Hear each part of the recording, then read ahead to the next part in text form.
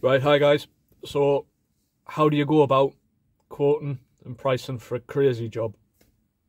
Now, what do I mean by crazy job? Well, I mean a job that maybe doesn't have a clear end, a job that you don't really know how to approach it, so it might be a bit of trial and error, um, a job that is um, got loads of bits to it, and it's not, again, it's not clear cut, it's not straightforward.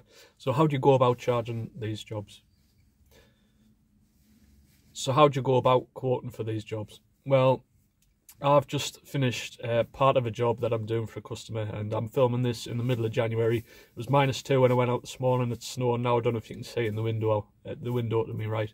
Um, but yeah, it's, it's freezing. Uh, but the garden is full of little jobs and it's uh, a really welcome job this time of year. Uh, keeps the money coming in. Um, and a little bit later in the video, I'm going to show you uh, part of that job. It was basically removing. Um, it was it was horrendous when I was quoting for it when I was looking at it, but it turned out to be not as bad as what I thought. It was basically to remove a load of ivy, keep it on the fence, anything kind of on the floor and everything she kind of wanted rid of. Um, so I'm going to let you know how much I charged for that uh, a little bit later on, um, and I'll tell you kind of me thinking behind that as well. Um, but I'm going to talk about uh, quoting for, you know, I'll not, not say horrible jobs, but jobs where they're just tricky. It's easy charging for a grass cut. All right, it might not be when you first start, but you know, it's black and white. Hedge trims, black and white. Um, but occasionally you'll get asked to, you know, have a look at jobs where it's not straightforward. And I must say, if this was in the summer, I probably wouldn't have taken a job like this on uh, the ivy itself's fine, but she had lots of different things that I haven't kind of photographed, and uh, you know, uh, me being by myself, it would be difficult. Um, you know, during the season when it's all guns blazing, you know, to to fit that in. Uh, but perfect for this time yeah. Um, so the first thing you've got to do really is have a good chat with the customer. Take your time establish exactly what she he or she wants doing. And you know really do have a long chat with her around you know walk around the garden. Um as you're looking at it you want to be looking for potential problems. Now with these sorts of, of jobs there might not be a clear cut end so you might have to explain what you you're going to do um, for example, uh, if you're kind of, I'll take the ivy, so you might want to explain you can only do so much. I mean, ivy roots go down, you know, a, a good, I think it's up to sort of five or six feet into the ground. Um, I explained that for the price I've given you, I'll not be digging them up, as in digging the ground. I'll be getting everything kind of ground level upwards you know, in the space that we talked about. So it's best to go over exactly what you're going to do. So then at the end of it, they're not going to turn around and say, well, I thought you were going to do this. I thought you were going to do that. You want to try and eliminate as many grey areas as possible with the customer. So you're both essentially on the same page. If you're dealing with a garden and the customer is wanting you to do lots of jobs, personally, this is how I do it. Um, a price for each individual job. I'll not give an overall price. And I don't like to do it, but sometimes you've got to do it. I'll give a price range instead of this is going to be 100 quid. I might say this is going to be between sort of 80 and 120. And yeah, explain it to the customer. You say, um, I don't usually charge price like this. Like you might not even want to say that. But this is what I said to this customer. I said, I don't usually charge like this. I like to, to go for a fixed price so we both know where we're at. I'll do the job for X amount. But in this case, because it's a bit of an open-ended job, it's not straightforward. Um, I want to give myself a little bit of wiggle room. Um, I don't know until I start the job what I'm necessarily going to come across. So it just gives you a bit of, um, you know, if it does become a bit of a pain in the ass job, uh, you can charge that top end. Um, very rarely will I go back and say it's going to be even more. I've done it on occasion where I've really come across something unforeseen and you just you just kind of sort of plan for it. Um, but again, you know, you get some if you get good vibes from a customer and you want to work with that customer, then chances are the customer will be fine with it. Um, so it's all about sussing the customer out as well and sussing the garden out. Um, but yeah, give yourself that kind of leeway really for the price. Um, I also like to try and give customer options when it comes to, to bigger jobs like this.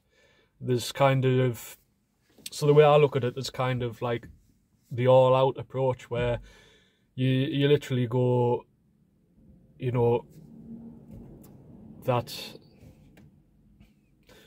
so what I also like to do is give customer options on jobs like this so you kind of have me basics the wrong word but you kind of have me basic price and then me top end price for like going above and beyond and doing everything. And obviously you, you charge for that. Um, but it just gives the customer an option if you know because you don't want to lose out on the job especially you know these these kinds of months the winter months. Um, and I, I prefer to kind of get a job to win a job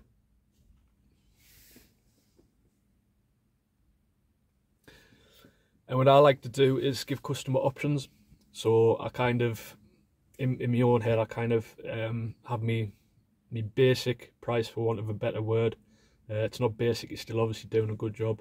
But then at the other end of the spectrum, you've got your top end price and you're going the extra mile, you're doing, you know, everything. Uh, and it just gives that customer options, you know, because this time of the year, it's January, um, you know, I want to win the job. So, you know, if the customer wants the high end kind of work, perfect.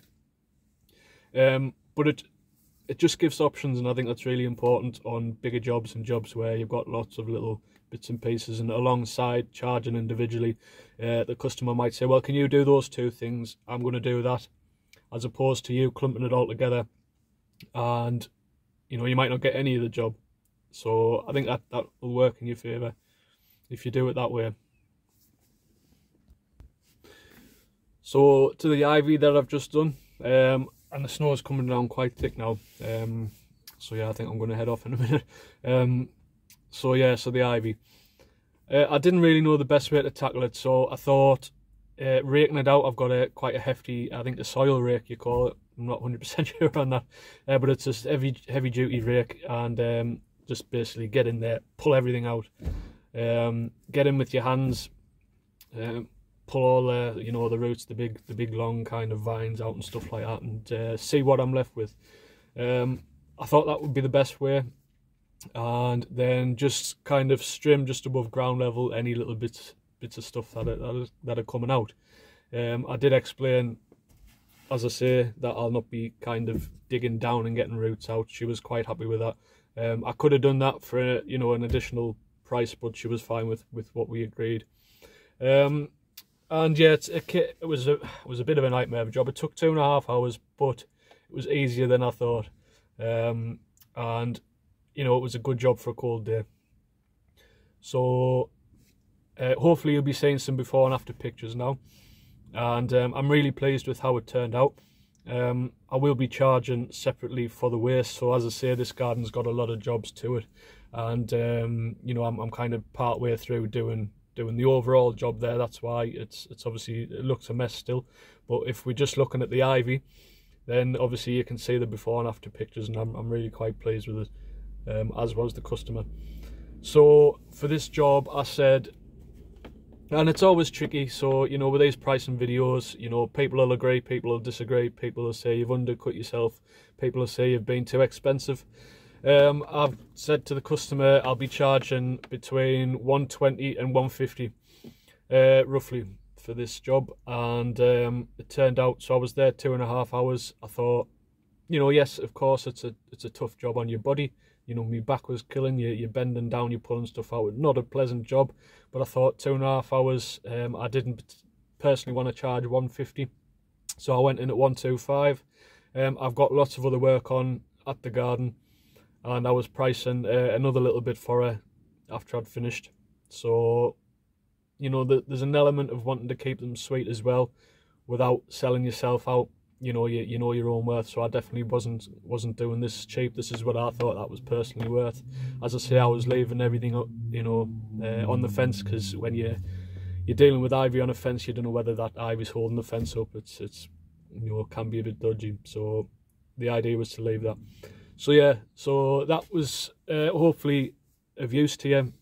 If you've got any questions pop them below and hopefully i'll see you in the next one. All right cheers bye